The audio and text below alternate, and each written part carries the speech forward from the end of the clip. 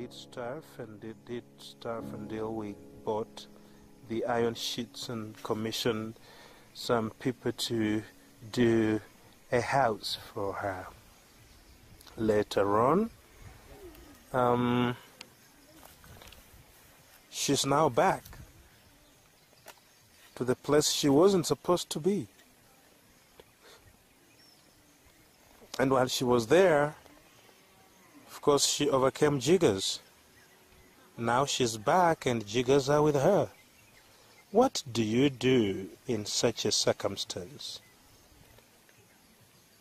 That is what makes our work interesting because it presents questions that, that perplex the mind, presents scenarios that uh, really are beyond human wisdom. Because if you choose to force her to stay in the house you think you built, she got out of there without you knowing, and you cannot force her to get to that place again. Uh, and she is here back to her old home where her husband and herself had so many jiggers. And uh, we met her just before his passing, and he passed with a lot of jiggers in his body. Um, we had done the first digging and we were working on a few things and he went in the night at the funeral. And it was it rained heavily and uh, nobody really took care of him there. And I, I don't even think they gave him food and so he got pneumonia and pneumonia killed him so that by the time we came back to to dig on him, we found a funeral. He had actually died. And we got very frustrated by that. Um, so here we are again with our Esther, facing the same challenge. It's like starting once again. Starting once again.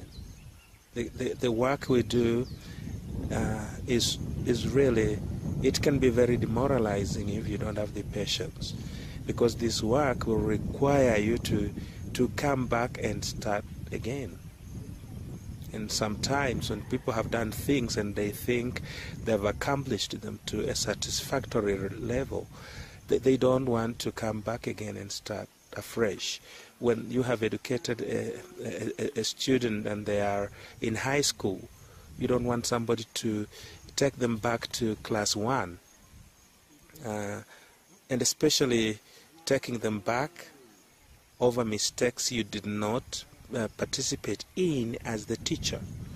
You just find the child who is overgrown in the company of small ones in, in class one, and uh, they're there, and you're required to start teaching again and taking them up the ladder again as if the mistake was yours.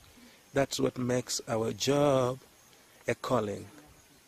And it makes our job peculiar and just for a few people whom God Himself has touched and given that grace, that patience to start once more, to start it over again.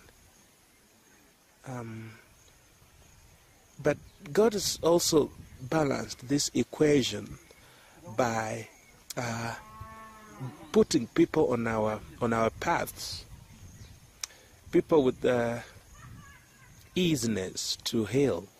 We we just uh, meet somebody and they have had jiggers forever, and we help them, and just within three, four, five days, a condition that has been there for forever just clears up, and they are the person healed completely. Amazingly so. we and we, we, we, we look at that and it, it keeps us going. So that nullifies the, the agony of coming back um, to start all over again with Esther. It nullifies that agony. And, and God knows how to balance the equation. He balances the equation so that it may be sensible. He knows how to balance us so that we, we might not give up. When we are feeling a little uh, tired and a little bit down, He presents a testimony that is moving, that is miraculous and wondrous before us. And that gives us the joy and the rejuvenation that we need. And we rise up again and we start off the journey again, sallying forth into the unknown with renewed energy and strength.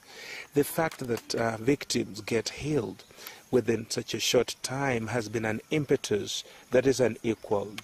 It feels wonderful to help somebody and see them get the healing. It feels good to originate an action and see a response that is desirable.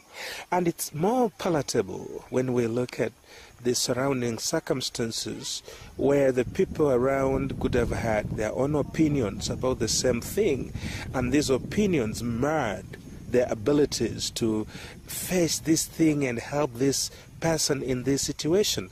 And we come in sometimes with a lot of skeptical voices yelling at us and we come and they feel, well, do they think we haven't here and we were not willing to help? Who do they think they are? Let's see how far they will go.